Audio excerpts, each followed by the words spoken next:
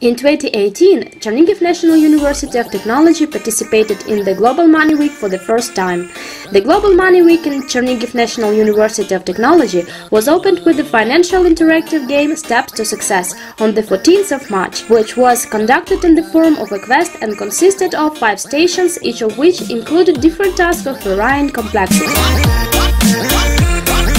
The usage of gaming methods helped to raise the level of financial awareness among school children about the importance of money in the modern world and to stimulate their interest in financial education as the key to making the right financial decisions in adult life.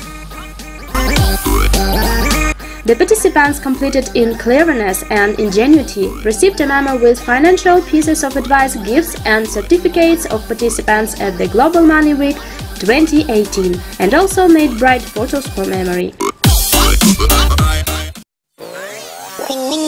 Furthermore, the interactive economic simulation was held on the 15th of March for the school years to increase its awareness in decision-making mechanism in the case of limited financial resources. During the game, participants had to make right decisions at the level of business, local communities and state authorities.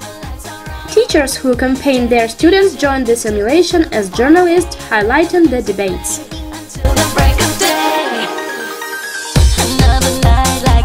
During the game, the participants showed non-standard and creative approach to solving real economic situations, demonstrated high erudition and creative teamwork.